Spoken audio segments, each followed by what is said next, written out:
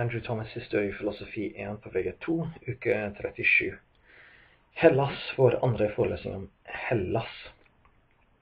Vi skal snakke litt i dag om hvorfor vi behandler Hellas på to forskjellige deler av læreplanen. Og, eh, og det er fordi den første er i oldtider og myter, og den andre er i antikken. Men man omtaler gjerne den historiske eller den førhistoriske Hellas. Så i den, den, delen som vi behandler nå, så er det snakk om oldtiden og myter. Nettopp mytene som kom før man begynte å skrive historien av Hellas. Men eh, etter hvert så begynner Hellas å bli historisk, og hvordan ble det til? Altså hva skjedde, hva er forskjellen mellom førhistorisk og Vi sier ikke historisk um, Hellas egentlig, vi omtaler antikken, som betyr på en måte oldtiden. Uh, det er bare et annet ord for en veldig, veldig gammel tid. Um, og dermed må vi finne ut uh, begrunnelsen for dette skillet. Uh, vi skal konsentrere oss spesielt om um, forskjellen mellom Homer og Herodotus, som er to forfattere. Um, og Homer skal da uh, representere oldtiden, og Herodotus representerer antikken. For å forstå forskjellen mellom disse to epoker, mellom uh, Herodotus, eh, Herodot som um, behandler historisk, eller antikkens uh, Hellas, og Homer som studerer oldtidens Hellas, så kan vi se hvordan de så på verden sjøl. Og, og, Herodot um, og de fleste um, og, og, Homer og de fleste religiøse greske mennesker fra antikken og oldtiden, de delte en oppfatning om, om den gylne alderen. Faktisk, Hvis vi studerer tekstene, så ser vi også et begrep om sølvalderen og bronsealderen og så videre og så videre. Vi skal eh, se på de tre viktigste delene av eh, de tre viktigste epokene, eh, som er den første, den gylne eh, alderen. Og vi klarer å se hvem som er hvem, og, og hvilken epok er hvilken epok ved å se på hovedaktørene. Og, og som dere ser her, mitt uh, vakre bilde om, uh, om saus som jeg fikk fra Utklipp-biblioteket. Um, og regelen er at hvis det er snakk om gudene, hvis det er gudene som er hovedaktørene, så er det vanligvis uh, mytene uh, vi snakker om, og, og, det er den gylne alderen. Gull. Uh, som er best. Um, og Først er det kampene mellom gudene, um, og, um, og, det er snakk om fortellingene sånn som at Zeus klarer å redde sine brødre fra sin fars mage, og um, diverse andre uh, kamper mellom gudene. Uh, men etter hvert blir det også mennesker, og, og, og men det er gudene som lager eh, menneskene. Men etter hvert får gudene eh, barn som da er helter, og heltene sponses um, eller støttes av gudene. Men det blir plutselig at heltene er uh, hovedaktørene. Og gudene, selv om de er med, så er de ikke i forgrunn. Det er heltenes kamp. Vi, ser et godt eksempel av, av dette i, um, i Troja-myten. Um, og her har vi f.eks. en situasjon der Akilles um, er på, på kamp uh, uh, Er i kamp med um, de trojanske soldatene. Men gudene slåss også. Og Akilles kommer i fare for å skade Afrodite. Uh, og Afrodite, og Afrodite må, som er en kjærlighetsgudinne, hun reddes av andre og beskyttes av andre. Og her ser vi at det er gudene som deltar.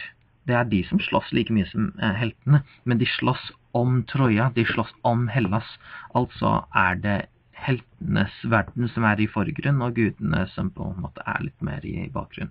Dermed vet vi at vi er i heltealderen. Um, og etter hvert så går vi over fra heltealderen, og det er heltenes barn og heltenes barnebarn og heltenes oldebarn og tippetippoldebarn osv. osv. som deltar. Da er vi i den historiske alderen. Så menneskene som vi veit fantes, og som eh, også slåss, og som også hadde drev med politiske handlinger og grunnla byer og eh, utvikla byer og styrte byer, eh, de, de, var historiske mennesker, og, de ble oppfattet som historiske men mennesker. Men de uh, hadde aner fra heltene. Um, vi ser den store skillet mellom f.eks. heltealderen og den historiske alderen i Herodot ved at Herodot tydeligvis virker å behandle en del myter som historie. Uh, men uh, sånn som f.eks. Troja-myten, for ham er det historie. Men samtidig så, så behandler han um, andre myter med en klype salt. Han tolker dem som religiøse myter. Uh, her gjør han ikke de samme avgjørelsene som vi nok ville gjort. De fleste historikere i dag ville behandlet f.eks. Troja som en myte og ikke som en historie, som en historisk hendelse. Men poenget er at han har et slikt skille mellom historiske begivenheter og litt mer grunnleggende spørsmålbegivenheter, sånn som hvordan ble verden til, hvordan ble mennesker til, osv. osv.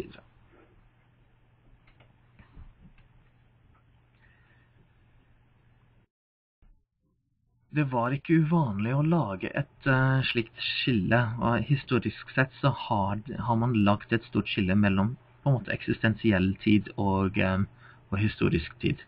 Um, et godt eksempel fra modernitet, som også ble viktig for, uh, for historikere om Troja, var da Darwin, som er til høyre her, um, utfordret teoriene til Jacob Usher til venstre her, som var en biskop fra, fra Irland.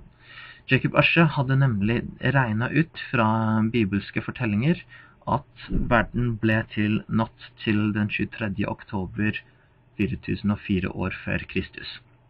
Og da Darwin da oppdaget uh, ting som var eldre enn 6000 år gamle, uh, og laget teorier som innebar uh, at verden var mye eldre enn 6000 år, så, eller i den perioden, yngre da, så, så måtte Jakob Ushes uh, teorier falle. Men poenget her er at Darwin han, han, sier ikke at de eksistensielle spørsmålene er unødvendige. Han sier bare at man hadde regna det ut feil.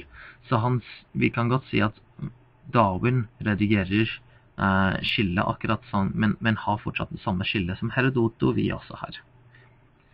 F.eks. når begynte tid? Det er et vanskelig spørsmål. Eh, men er det, eh, er det et historisk spørsmål? Det er ikke godt å si, fordi før tid så kan du ikke regne ting ut. Um, um, så det er en, en ulogisk spørsmål. Uh, men det er fortsatt et aktuelt spørsmål. Hvordan ble ting til?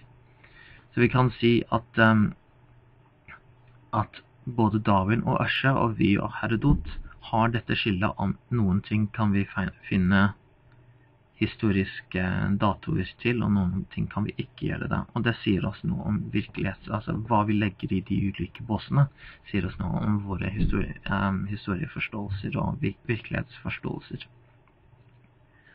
Um, dermed har vi disse mytene om Pandora, Dermed har vi mytene om Zeus osv. osv. De, de er ikke så historiske, men heltemytene derimot kan være litt mer historiske.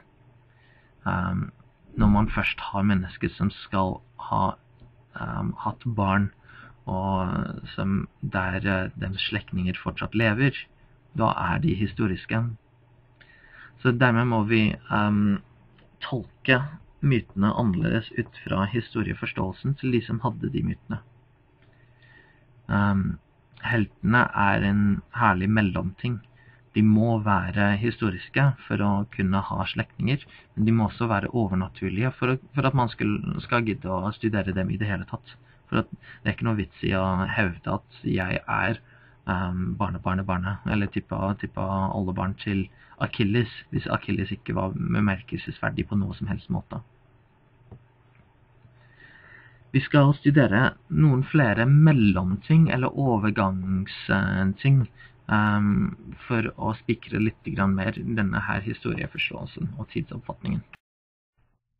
Troja er den ultimate mellomting. Uh, fortellingen virker historisk, uh, men så er det gudene som, som begynte det hele, uh, ved diskusjonen om hvem som er vakrest av de tre kvinnelige gudene. Og det er gudene som gjennomfører, det er gudene som deltar i kampene, og gudene som sponser de som deltar i kampene. Gudene er hele meningen. Men, um, men, samtidig så virker det som en veldig historisk og veldig uh, gjenkjennelig format. At det er en beleiring, det er en kamp, man har detaljer. Og Derfor har mange arkeologer prøvd å bevise at alt dette her var sant. Ikke minst i 1800-tallet var det et stort uh, arkeologisk prosjekt å prøve å bevise at man har funnet Troja. Alle drømmer om det. Um, man har prøvd å påstå at mange grekere forlot Hellas i en periode samtidig. F.eks. at uh, et stort imperie før historisk imperie som heter Mykenske imperiet, falt Um, vi finner Trojas ruiner og sånt. Og hvis du eh, besøker uh, Tyrkia, så kommer du til å bli overtalt om at de har funnet Troja. Men alt dette er nok forgjeves. Det er nok bare en stor myte basert på mange små beleiringshistorier som vi finner mye av i, i 7-, 8-, 900-tallet um, i Hellas. Og vi kan da forklare Troja-myten, eller vi kan se hvorfor den appellerer. Fordi det, man hadde sikkert en sivilisasjon i Tyrkia og Hellas som hadde mye til felles, men samtidig så ser vi at Tyrkia er en, et annet kontinent, men det blir oppfattet som veldig annerledes. Hvordan forklarer vi disse her forskjellene, men samtidig disse her likhetene? Um, men mer enn det er veldig vanskelig å si som en forklaring til Troja-myten. Vi kan nok si at den største forklaringen er Homers uh, dikter, poetiske geni. Den neste mellomtingen er Tesius, og vi ser et bilde her av Tesius som um, temmer uh, en okse. Uh, det mest kjente med Tesius er at han ble sendt til Minoa, eller, Kreta, som offer. Um, fordi Greta hadde dominert Aten. Uh, men han klarte å overleve ved å uh, Han ble dømt til død ved labyrint og minotaur, som kjent. Og han klarte å overleve ved å sjarmere en lokal prinsesse osv. Og, så videre, og, så og du hører veldig mye um, av romantikken om hvor, hvordan denne myten har overlevd. Um, da kommer Tesius tilbake, um, og han lager reformer, uh, demokratiske reformer. Um, og har vært veldig viktig for Aten sin selvidentitet. Uh, hans uh, myte kaster en lang skygge. Uh, han er såpass historisk at når Aristoteles, en, en meget seriøs og alvorlig historisk filosof, når han skriver historien bak Atens grunnlov, som vi skal studere om et par uker, så, så sier han at noen av de viktigste reformene er um, lagd av Tesius. Men vi må huske at han også slåss med en minotaur, som er halv menneske, halv okse. Um, han hadde Og, og minotauren um, hadde Men uh, minotauren er bare en, en, en, en instans av mange um, guddommelige inngrep i fortellingen. Um, fortellingen fortsetter f.eks. For med at den vakre dama som hadde hjulpet Tesius, hun blir forlatt på en øy og, eh, og gifter seg med Dionysius, eh, vinens gud. Ikke fullt så menneskelig, nei. Um, og det er veldig um, Det som er interessant med, med Tesius, er at han um, er alltid en del av lokale myter. Kreta, f.eks., hvorfor Minotaur? Altså, det er nok en førhistorisk religiøs um, religiøs eh, ritual eller en religiøs bevegelse som, som er veldig uh, som innebærer dansing med okser, f.eks. Og det har vi arkeologisk belegg for å påstå. Um, så det er med andre ord um, en del som har mer religiøse myter som, som kobles til Tesius. Um, annen, et annet eksempel um, er, um, er at han temmer en okse i maratonområdet. Interessant nok så um, har den samme oksen også blitt temmet av Herakles allerede. Men Herakles er litt mindre historisk enn Thesis, så Thesis får lov til å temme den en gang til etter at Herakles har transportert den fra Kreta til Maraton i Hellas. Um, dette er et interessant fenomen for historikeren. Kanskje vokser myter opp rundt lokale fortellinger eller fenomen, og bare i ettertid så huker de, fast, huker de seg fast i en større fortelling. Oksen i dette tilfellet har da eh, kanskje vært en lokal myte eh, i Kreta eller Maraton, eh, men den har klart å huke seg fast både i Tesis og i Herakles. Man er litt usikker på hvem man skulle si det om, og dermed har man sagt begge to. Og, og sånn leser historikere myter. Um, denne mannen her, Pythagoras, uh, kjenner dere igjen fra matte sikkert. Um, det er faktisk en filosof som, som antageligvis fantes. Vi vet mye mer om hans disipler enn vi vet om ham sjøl. Um, og, og, ved Pythagoras, som er en av de store førsokratiske filosofene, så begynner vi å gå inn i antikken.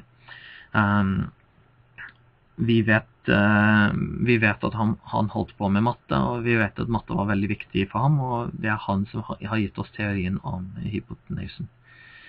Um, det interessante her er at han både er kjent som opprinnelsen til et konkret matematisk formulær, som vi fortsatt bruker i dag, og særlig dersom vi skal snekre noe eller bygge noe, planlegge bygningen. Um, men han skal også ha hatt et lår av gull, f.eks., og um, han skal ha vært sønnen til en gud, og hvilken gud er litt usikkert, men poenget er at det er veldig myteelementer til dette her. Uh, Pythagoras uh, har hatt en innflytelse på Platon, ikke minst. Så en, en, en, i høyeste grad en historisk filosof men med myter koblet til ham. Med andre ord, vi har veldig vansker for å plassere noen mennesker i den mytiske verden, eller i den historiske verden. Og derfor så bør vi ta disse her um, store epokeendringer um, med en klype salt som historikere. Vi skal være forsiktige med dem og vite at de, de ikke har så mye med seg. Det er begivenhetene og detaljene i de historiske grunnmaterialet grunnmaterialet som teller. I hvert fall med Pythagoras så stiger vi inn i antikken for virkelig, um, og inn i de førsokratiske filosofene som vi skal møte igjen til neste uke.